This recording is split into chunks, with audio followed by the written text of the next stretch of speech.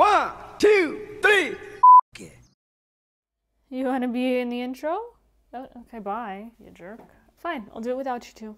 Oh, Jesus, Jesus, Mary and Joseph. On today's episode of Free Unsolicited, okay. Do you want to go to your crate? Thank you. Yeah, there's no food up here. This is just my intro, baby. On to.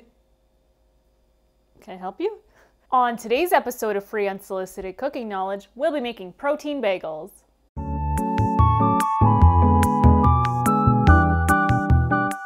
If you do hear my phone going off, it's my cameras. The neighbor's chickens um, escaped the coop. They're roaming around the yards. Dad's chasing them with sticks, trying to get them back. They're attacking my dog. Anyway, welcome back, my little spoons. Before we start this episode, I just wanted to give you a shout out and thank you very much for supporting our newest endeavor, our podcast, more content. Even though it was a little not where I want it to be, I really enjoyed your positive feedback and it just encourages me to continue making more content for y'all. Howdy. Again, I always do that. I'm just southern. I'm just a southern belle with broad shoulders, according to Cody. Thanks. You really know how to get my my confidence. You asked what you look like. It's okay if I have broad shoulders. It means I'm strong, and I I'm a farm gal. Okay.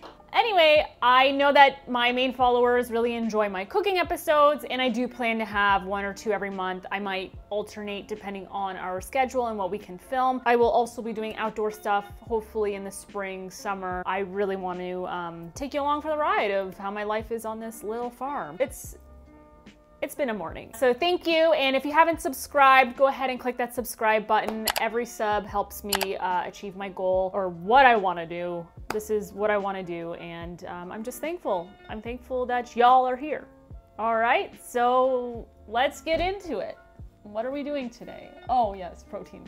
I'm going to show you the easiest technique to make bagels. I think when people think of bagels, they're like overwhelmed with like proofing and everything to make them. You don't need any of that because it is a actually a Greek yogurt based bagel. With that said, uh, my lazy unprepared self do not have the proper ingredients to make the ultimate protein bagel, but this is still a high protein bagel with the recipe I will show you. And I will let you know what to substitute along the way in case you want to do it with the actual protein powder that I've done before. I did get this off the internet. I think it was called like skinnytaste.com or something like that because I wanted a bagel that wasn't like high in gluten and I wanted to incorporate more protein in my diet during the pandemic. Don't know why, because all we did was float in the pool and drink and eat terrible food. We single-handedly kept restaurants open during the pandemic. But this is something I played around with before I started filming, and I think I got it down to a science. It's been a while though. It's been a while. So I don't know how they're gonna turn out. I have it written down. Also, this is a new stove, so it I don't know. Maybe it will fail. Who knows? But you're along for the ride. All right, I'm taking you with me. We're on this this train. It's leaving the station. You carry them on your broad shoulders. I'm gonna carry them on my broad shoulders, okay? So the first thing you're gonna start out with is a bowl. Okay, and the first ingredient, which this is where you can substitute, I usually use almond powder, but today I'm just gonna use flour, good APF, all-purpose flour. Oh Jesus, imagine if that shattered. Okay, so we're gonna do one cup of flour, okay? When I did the recipe, it was, actually, hang on. Oh, that is one version of it. Hmm. Quarter cup of flour, quarter cup of wheat flour, and half a cup of protein powder. That's what I did. I think you still need the flour to bind, but I feel like there's like, you could use um, all almond flour. Don't know why I have wheat flour written down. I was using almond flour. See, we're learning together. Okay, but because we don't have those, we're gonna have to do the whole full cup. I don't have the protein, I don't have the almond powder, the wheat flour, nothing. I'm just gonna use all-purpose white flour. Again, if you're not trying to be that healthy, this is perfect. If you're not gluten-free, this is perfect. These bagels turn out just as great as the other ones. So we're like half a protein bagel. Eh? Okay. Okay, before we actually begin, remember you need your strainer if it's not strained or sifted. You need your sifter, not your strainer, I guess, whatever. You need one of these, okay? Put it over your bowl. You wanna do one cup. And yes, this jar is from the dollar store and my cup does not fit in it. Another learning curve when designing my kitchen. And you're gonna compact it down, okay? You want a level, level cup. It's a little over, but you're fine. And then you're gonna dump it in the sifter, okay? Sift, sift, sift. See? This gets rid of the lumps. That way when you're like mixing and you actually bake it, you don't bite into like a dry lump of flour. It's disgusting. Ew. There's something hard in that. Disgusting. Next ingredient. I don't know what that was. You need two teaspoons of baking powder. Again, you have to sift it. Um, this is a half a teaspoon, so I'm gonna do four of these. And when you're doing it, you want it level. Okay, one, two, three, four. And you're gonna, Dad's gotta go chase the chickens. we're sifting, we're sifting the baking powder. Right, moving on. There's dust on my hands. Next ingredient is salt. You're gonna need three quarters of a teaspoon, I believe. So I have a quarter teaspoon and I'm just gonna put three of them in here. And yes, I wanna sift it. I don't know, what if, what if something else is in there that I don't like? One, two, oh dear, three. Crap. Is my everything bagel seasoning? No, it doesn't have salt. Never mind. Whew, dodged a bullet. Sift, sift, sift. Now that your dry ingredients are sifted and in the bowl, I'm just gonna mix it so there's like an even, oh Jesus, distribution of everything. What is my next ingredient? Oh, Greek yogurt. You're gonna want Greek yogurt, no sugar added, plain, okay? Oh, you got 2%. It's supposed to be 0% fat. I don't care. It's fine. I don't know why it always grosses me out, this liquid on top. Just gonna, we're just gonna give that a little mixy poo. I love the smell of yogurt though. Mmm. Yes, I'm a weirdo that likes just plain yogurt with no sugar. All right, and yes, I licked it. It's my yogurt. I'm gonna be eating the bagels because Cody doesn't you don't really like bagels, do you? You, but you never really ate my everything bagels, did you? Oh, well then there's that, guys. Remember, to the brim, my friends. There we go. Okay. One cup of sugar-free, plain Greek yogurt. I don't care what the fat is. I don't know if that's gonna make a difference. But whatever, this one's 2%. We'll see how it turns out, but that's what these tests are for, okay? Okay. All right, your next ingredient is gonna be one egg white beaten. So we're gonna go ahead and put that aside. Just another bowl, a whisk. Oh my God, Cody, I might need a new one. It's wobbly. You can get egg whites like this. You can use a, just a, a single egg beaten. Um, again, when I was on this journey of just making a protein one, I just wanted less fat in it and more high protein, so I go with egg whites. For this, it's two tablespoons equals one egg white. One, two. Also, fun fact, you can freeze egg whites up to three months. You can put them in, um, you can measure them and put them in, what are they called? Ice. Ice trays and then whenever you need one you can pull it the night before put it in a bowl let it defrost in the fridge. But yeah up to three months. Okay one egg white beaten. My broad shoulders apparently. I'm just watch out. I'm gonna make this as fluffy as possible it's like i'm making um I, am like, I literally sneeze. My brain just stops working. Um, meringue. Okay. Let's work out. This is what it looks like. So now that I have beaten up the egg white, I'm going to fold it in. Actually, you know what? I'm gonna mix the yogurt with the dry ingredients and then fold this in. And now I'm going to fold in the egg white.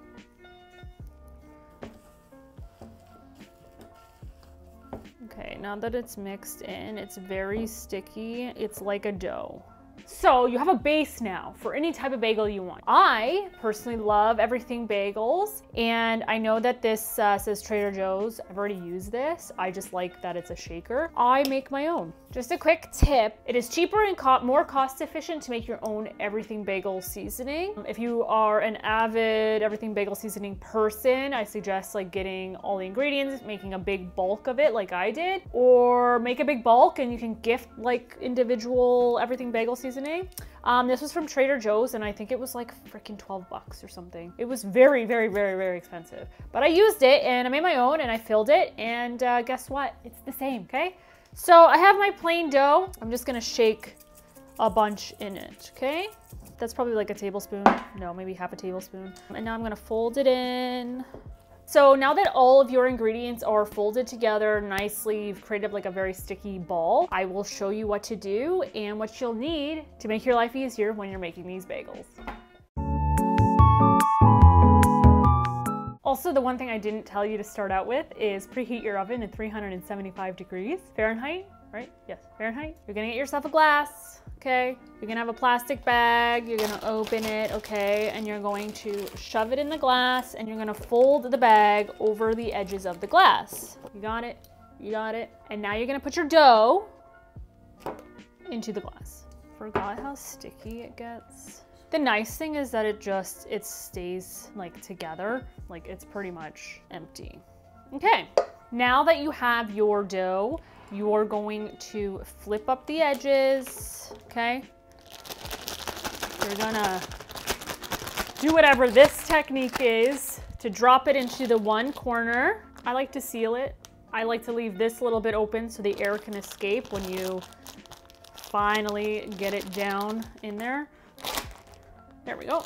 Okay, so the corner you feed it down to, like that, you're gonna cut the corner. Before I go ahead and do that, I just wanted to show you the best find on Amazon are these. These are made for donuts, okay? They're silicone, very flexible.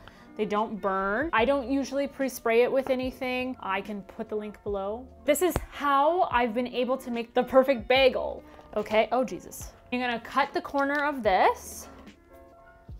You can do it fairly big. And then you're gonna go ahead and you're gonna pipe it around the, you're going to pipe it around, all right? Squeeze. And you're just gonna follow the circle of the donut. Okay, oh, very sticky.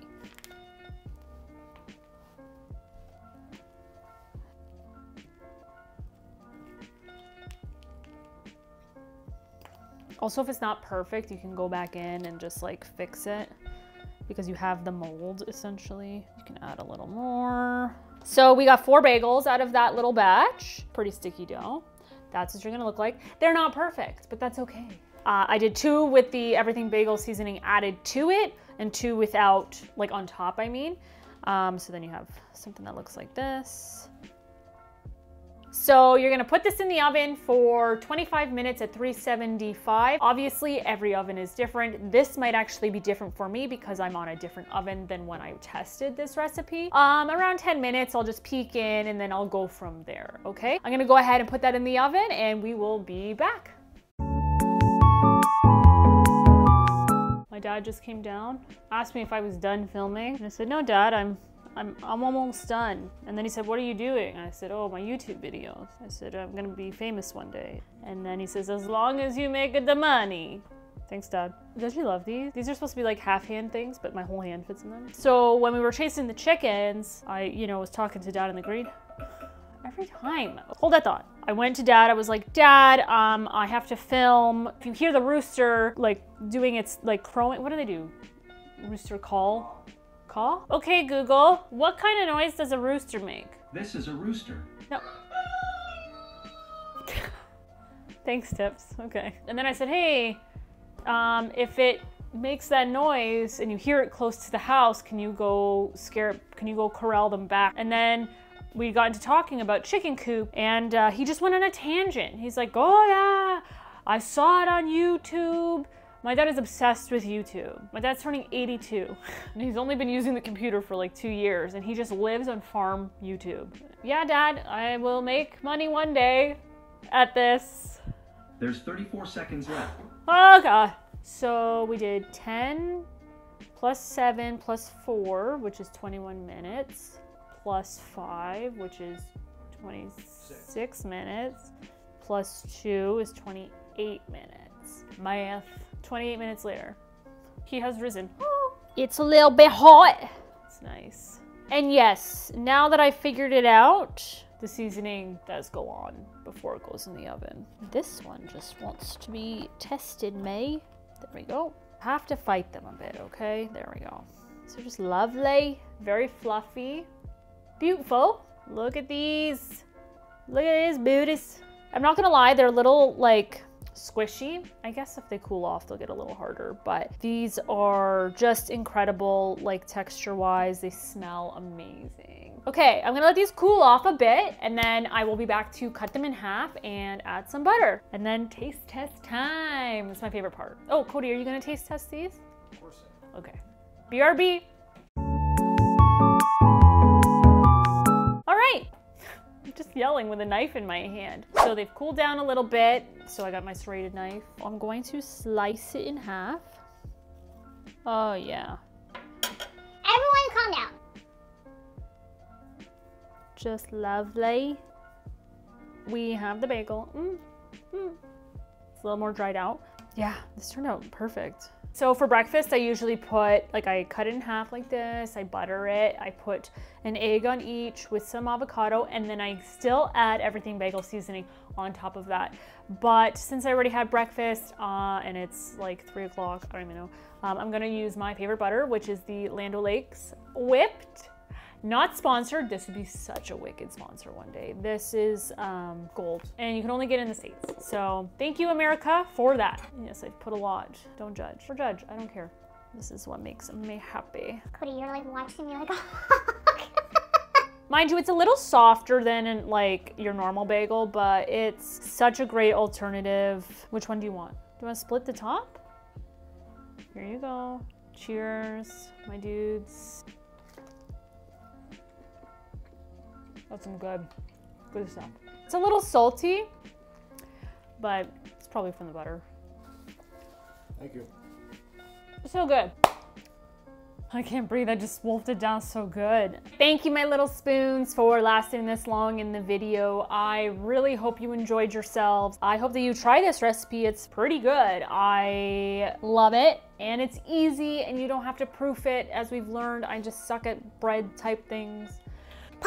So usually I add protein powder and actually the protein powder adds a dryness to it, if I remember correctly. So it, it's a little different of a texture, but these are great. Once they're made, you put them in the fridge. I, I think they last about a week. You can freeze them as well, up to three months. You can also slice them and toast them just like normal bagels and yeah, butter, cream cheese, whatever. They don't have to be everything bagels. You can do fruit, you could do cinnamon. I don't even know what else you can do, but the options are endless. And yeah, this only took me 28 minutes in the oven. I'm very happy with this, very pleased, and I think it's cheaper than buying bagels because bagels are so expensive. Come on, Galen Weston. Actually, I can't talk crap. What if I want a sponsorship one day? I mean, what? You're great. Our alarm dogs are going off. There's someone at the door. You know who didn't visit us this episode? Darwin.